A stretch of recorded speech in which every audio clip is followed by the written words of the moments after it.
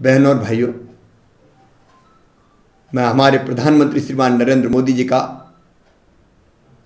आभार प्रकट करना चाहता हूँ, उनको धन्यवाद देना चाहता हूँ। कोरोना वायरस के संकट से निपटने के लिए उन्होंने राहत पैकेज का ऐलान किया है।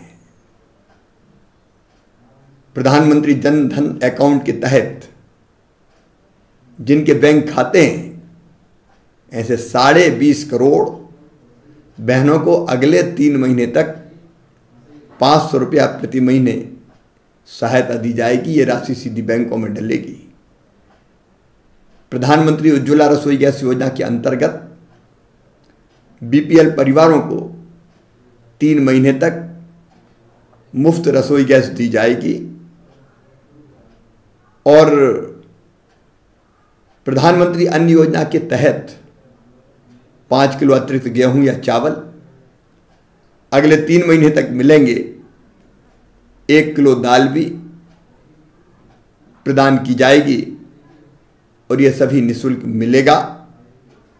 इसके अतिरिक्त और अनेकों राहतें पैकेज में घोषित की गई है।